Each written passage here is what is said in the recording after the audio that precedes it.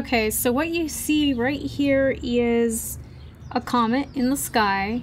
It was heading west, and I saw it on October 18th, 2024.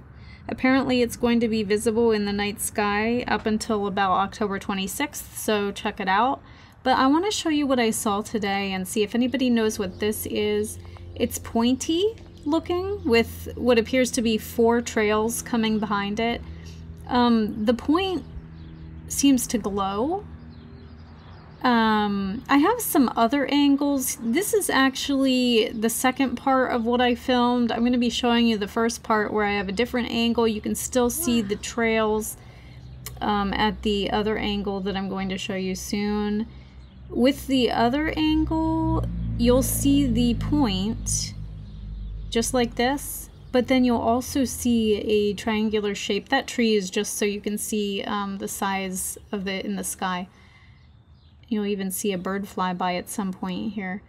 Um, there we go. I'm going to show you the other angle because in this angle, it's just like a long point that's lit up with a trail behind it.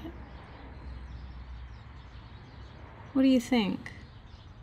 Is it a jet? Or is it a rocket? It's headed east, easternish.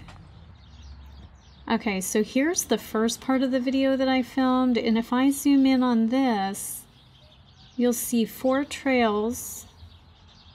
You'll see the central white light, and you'll see one light on the left. It does not appear to be blinking. You can see, oh, did it blink there? Mom? Oh yeah, I think it blinked. So why would it, oh, we're back to the comet, by the way, if you want to see some footage of the comet from October 18th. Apparently the comet's name is Atlas. C2023 because it was discovered in 2023. Now it's actually close enough to be visible in the sky. A3 Atlas. So this is the second comet that was supposed to be visible in 2024 from what I read. And I don't think I've ever seen anything like this in my life, to be honest. I think it's pretty cool.